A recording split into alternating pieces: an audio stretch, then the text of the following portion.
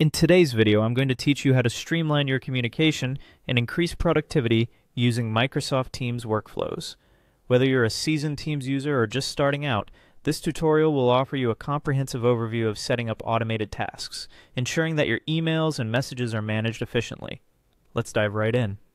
First things first, open up your favorite web browser and head over to Microsoft Teams. Sign in using your credentials, ensuring you're in the right account where you want these workflows to be set up. If you haven't yet explored the full potential of Microsoft Teams, you're in for a treat, as the platform is packed with features designed to simplify collaboration and task management.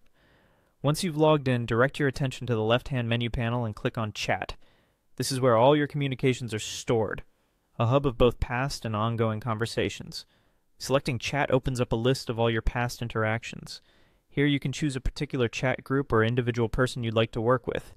This selection will be the basis for setting up your new workflow so choose wisely based on where you frequently collaborate or manage tasks. Now look towards the top right corner of the screen. Here you'll find three small dots. This represents the More Options menu, a crucial feature that gives you access to a variety of actions and preferences not immediately visible on the main interface. Click these three dots to reveal a drop-down list. From this drop-down, select Workflows. This option is a gateway to automating how your teams, channels, and communications function. In the Workflows window, find and select Post a Channel message every day of received Outlook emails and Teams posts.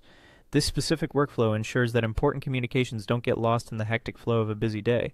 It's particularly useful if your role heavily relies on timely updates and actionable insights derived from emails and posts. Once you've made your selection, you'll be prompted to name your workflow. Be, be descriptive yet concise with this, summarizing its purpose or the group it's intended for to avoid any future confusion. After entering a name, click Next to proceed to the final steps of the setup. You'll now see fields where you need to fill in additional required information. This might include details on how the workflow will run and specific times or other preferences that tailor the automation to your needs. Carefully input this information and once satisfied, click Add Workflow.